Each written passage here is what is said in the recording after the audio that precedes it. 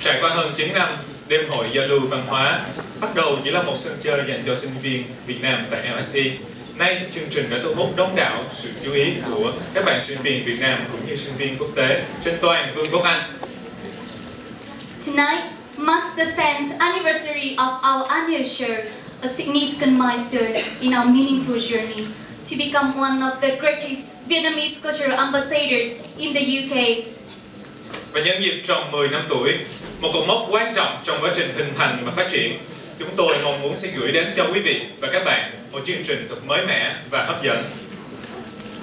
This year, the story revolves around a young and ambitious dancer whose appearance has become the only obstacle to her success. She then makes a decision that could change her life forever. This could either bring her where she has always wanted or leave her with all the bad consequences. Và chủ đề chính của chương trình hôm nay kể về một vũ công trẻ, tài năng với nhiều đam mê, nhưng chỉ vì vẻ bề ngoài xấu xí. Con đường dẫn đến thành công của cô vấp phải rất nhiều khó khăn và trông gai. Cô quyết định mang những phẩm chất tốt đẹp của mình để đổi lấy một vẻ ngoài lộng lẫy. Nhưng liệu sự đánh đổi ấy có mang đến cho cô thành công hay không? Hay cô phải trả một cái giá thật đắt cho quyết định mang tính bước ngoặt ấy? Chúng tôi mong quý vị và các bạn sẽ tìm ra câu trả lời sau khi theo dõi chương trình này.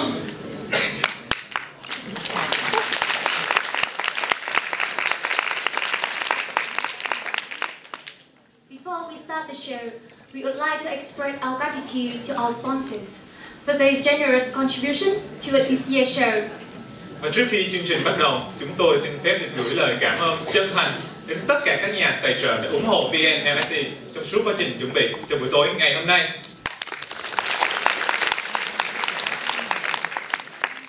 We would like to thank Chúng tôi xin trân trọng cảm ơn. Vietnam Airlines, the Vietnamese Student Association in the UK,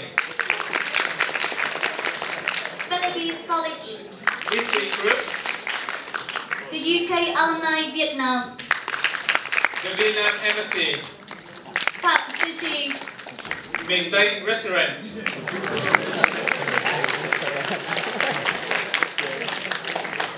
Sunrise Vietnam, Quê Việt Restaurant, and Songkwe Restaurant. All the proceeds from sponsorship and ticket sale be transferred to various charity funds in Vietnam. Ngoài mục đích giao lưu văn hóa, chương trình thường niên của chúng tôi còn được tổ chức với mục đích từ thiện. Tất cả số tiền thu được trong đêm diễn ngày hôm nay sẽ được chuyển về cho các quỹ từ thiện ở Việt Nam.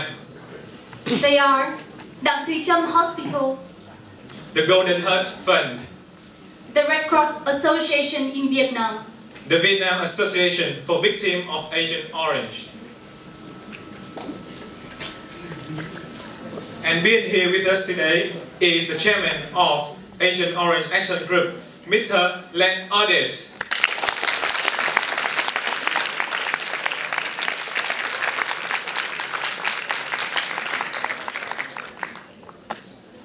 We will now warmly invite our sponsor representatives on the stage to receive the certificate of appreciation from the VNLIC Society.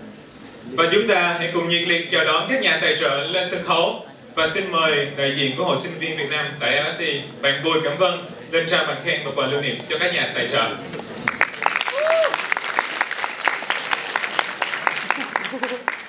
Please welcome on stage representatives of Xin kính mời lên